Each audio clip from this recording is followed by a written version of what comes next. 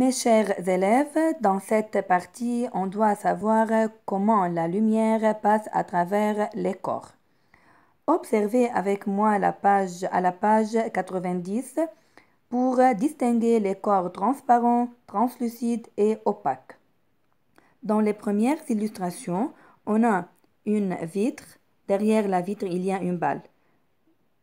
On peut voir et on peut distinguer la balle derrière la vitre.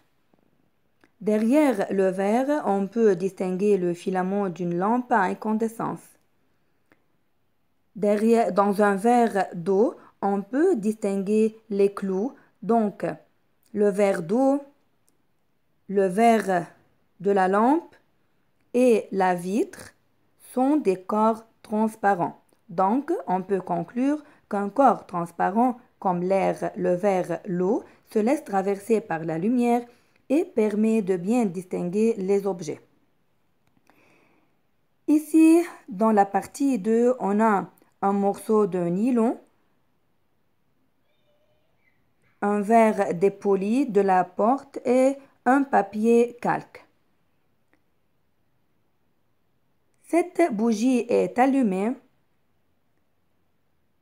Ce corps laisse passer partiellement la lumière mais on ne peut pas bien distinguer la bougie. De même, on peut, euh, la lumière passe partiellement de, euh, du verre dépoli de la porte, mais on ne peut pas bien distinguer la lampe. Et encore, cette bougie derrière un papier calque, le papier calque laisse passer partiellement la lumière, mais ne permet pas de bien distinguer la bougie.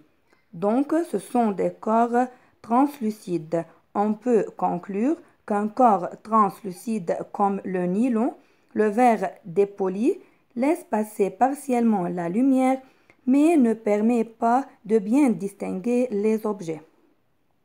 Dans la partie 3, les corps opaques, comme le bois, le bois ne laisse pas passer la lumière et de même, on ne peut pas voir les objets derrière le bois. Cette bougie derrière le morceau de bois, on ne peut pas voir cette bougie.